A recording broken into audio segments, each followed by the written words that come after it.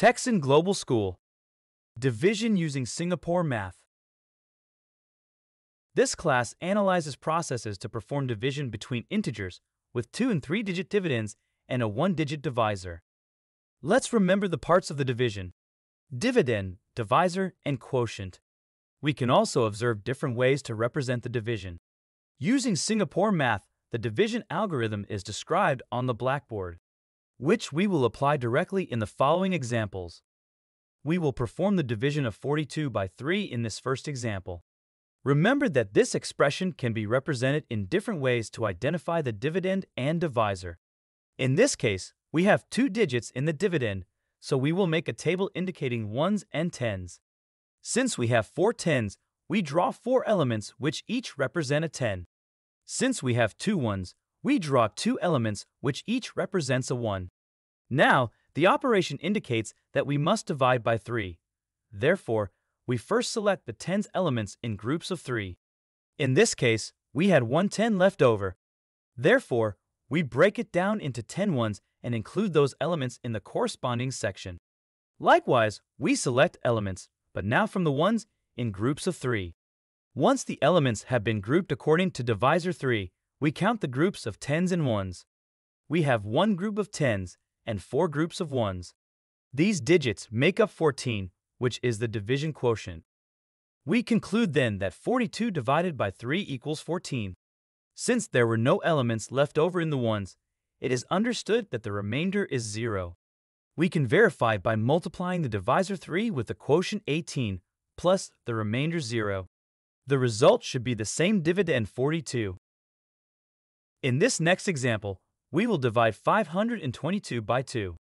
The dividend is 522 and the divisor is 2. In this case, we have three digits in the dividend, so we will make a table indicating ones, tens, and hundreds. Hence, we have five hundreds, so draw five elements which each represent a hundred. Now two tens, and draw two elements which each represents a 10. Finally, two ones, and then we draw two elements which each represent a 1. Now, the operation indicates that we must divide by 2. Therefore, first select the hundreds elements in groups of 2. In this case, there's an element of a 100 left over. Therefore, we break it down into 10 tens and include those elements in the corresponding section. Likewise, we select elements but now from the tens in groups of two. Since there are no tens left, select elements in groups of two in the ones. Once the elements are grouped according to divisor 2, let's count the groups of hundreds, tens, and ones. All this results two groups of hundreds, six groups of tens, and one group of ones. These digits make up 261, which is the division quotient. Hence, we can conclude that 522 divided by 2 equals 261. Since there were no elements left over in the ones, it is understood that the remainder is 0. In this last example, let's divide 561 by 5. The dividend is 561 and the divisor is 5. In this case, there are three digits in the dividend, so let's create a table indicating ones, tens, and hundreds.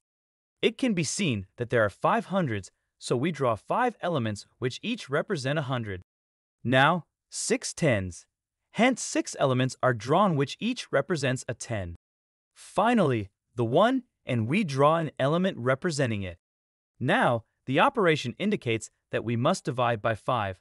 Therefore, first selected the hundreds elements in groups of 5.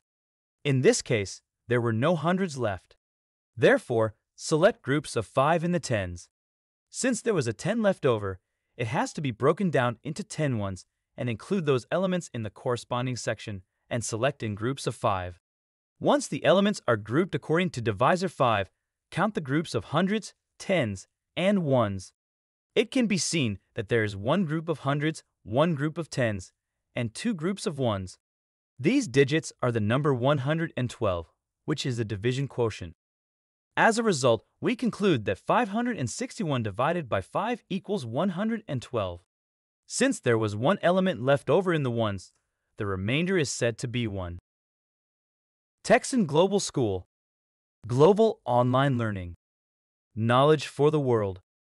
www.texanglobalschool.com